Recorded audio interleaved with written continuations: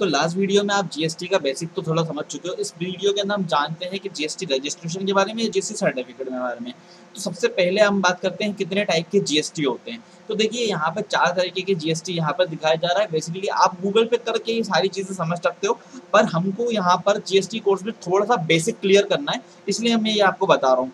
कई सारे लोग आपसे कन्वर्ट होंगे या कल के रोज आपसे पूछेंगे कि, भाई, ये बता दो यार, मैं ऑनलाइन सेलिंग कर सकता हूँ या मैं यहाँ पे कर सकता हूँ या नहीं कर सकता? तो वो चीज़ आपको थोड़ी सी नॉलेज होनी चाहिए। कल के रोज आपको हो सकता है कि इस फ्यूचर कंटेंट से आप खुद दूसरे लोगों के लिए भी सेलिंग करो या कोई अलग तरीके की भी आपको हो सकता है डिमांड फिल हो जाए, ठीक है ना? तो देखो, पहली तो होते हैं नॉर्मल टैक्स पेयर जो कि रेगुलर टैक्स पेयर देखने को मिलते हैं, फिर उसके बाद आपको सबसे ज़्यादा सुनने को मिला होगा कॉम्पोजिटिव स्कीम ठीक है ना? कॉम्पोजिटिव स्कीम में एक परसेंट जीएसटी भरा जाता है, आप जो भी इनपुट क्रेडिट लेते हो, उसमें कोई इनपुट क्रेडिट रिसीव नहीं होता, ठीक है ना?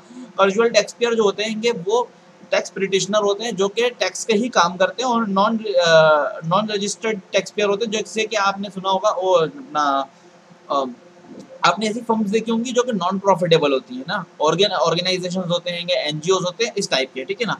अब यहाँ पे सिंपली बताया गया है कि वहाँ पर आपको जीएसटी क्यों लेना है? बेसिकली ये मेरे को वेबसाइट काफ़ी सही दिखी, यहाँ पे वो टॉपिक्स हैं जो हम लोगों को कवर करना थे। बस थोड़े ऊपर नीचे पर इससे कोई मैटर नहीं करता, ठीक है?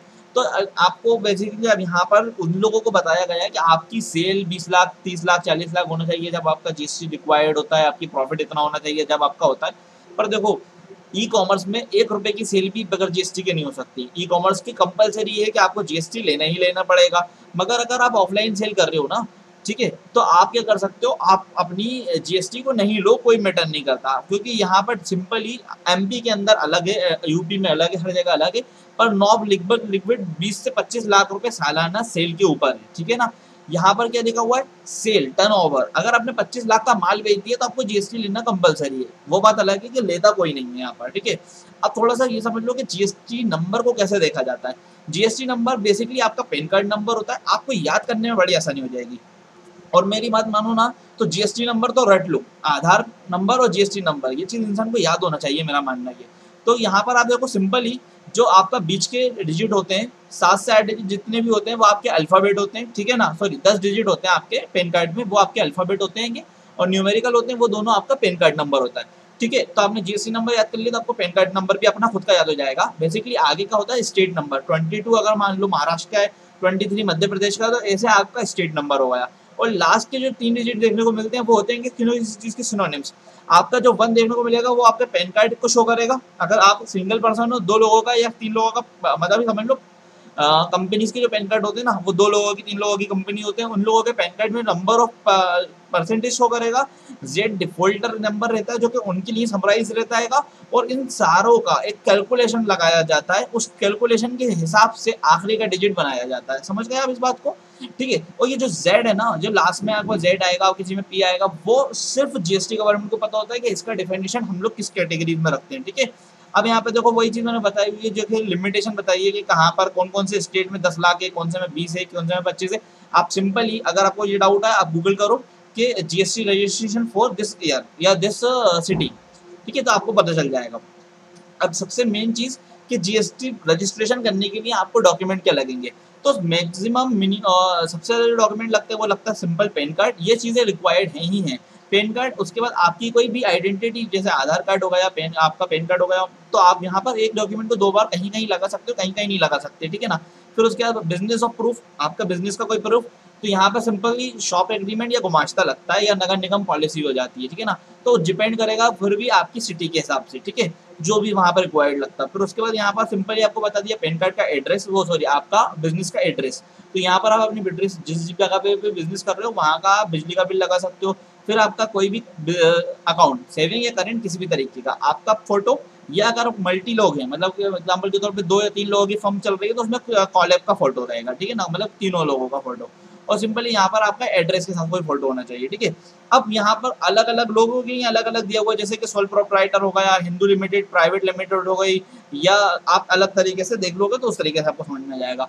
अब जैसे मैंने आपको बताया कि जीएसटी बना हो गया तो जीएसटी सर्टिफिकेट किस तरीके का लिखा था, ये आप समझ लो, फिर हम ये समझ लेंगे कि जीएसटी का आपको आगे बनाना कैसे जीएसटी अगर आपका इनकेस कभी आपको बनाना हो तो। तो बेसिकली आपको जीएसटी सर्टिफिकेट इस तरीके का देखने को मिल जाएगा। जीएसटी सर्टिफिकेट में आपको सबसे ऊपर आपका जीएसटी नंबर अटेंड हो जाएगा, जिसमें जैसे एग्जांपल के तौर पे यहाँ पे दिया हुआ है, ठीक है? फिर उसके बाद आपकी फर्म का नाम और आपका नाम, दोनों नाम आपको देखने को मिल जाएँगे। यहाँ पर डिपेंड करेगा कि प्रोपराइटर है पार्टनरशिप है। बेसिकली यहाँ पर पार्टनरशिप कंपनी है तो यहाँ पर आपकी पार्टनरशिप आ जाएगी, आपका एड्रेस नंबर आ जाएगा टाइप ऑफ़ में आ जाएगा आपका, अगर यहाँ पर रेगुलर है कंपोजिटिव है तो बेसिकली यहाँ पर आपका टाइप आ जाएगा, ठीक है? तीन पेजेस आपको मिलते हैं, मगर मेन पेज आपका फ्रंट होता है। अब यहाँ पर समझ लो कि यार आपको कल के रोज किसी के लिए जीएसटी अपने खुद के लिए जीएसटी बनाना है।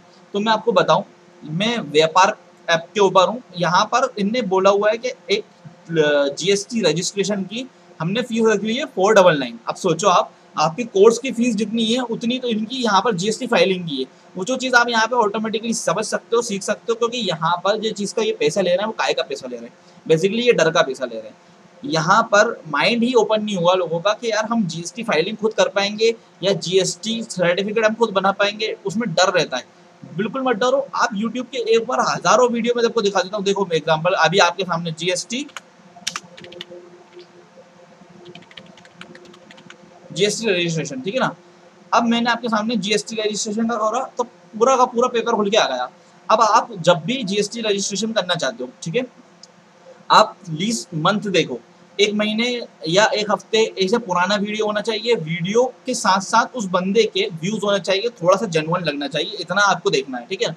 आपको वो प्रोसीजर बता देगा।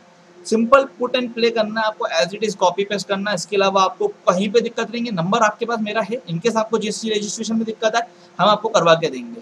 आपको डॉक्यूमेंट देना, आपको वो करवा के देंगे। मगर यहाँ पे सिंपल है, अगर आप खुद करोगे, एक बार करोगे, आपका डर खत्म हो जाएगा जीएसटी बनता कैसे? जब आप जीएसटी बना लोगे तो आप तो यहाँ पे जीएसटी फिलिंग करने की बात कर रहे हो, ठीक है ना? तो वो आपका पूरा का पूरा डर क्लियर हो जाएगा। तो उम्मीद करता हूँ कि ये चीज़ आपको समझ में आ गई। मिलते हैं नेक्स्ट वीडियो में जीएसटी पोर्टल के साथ। Thank you so much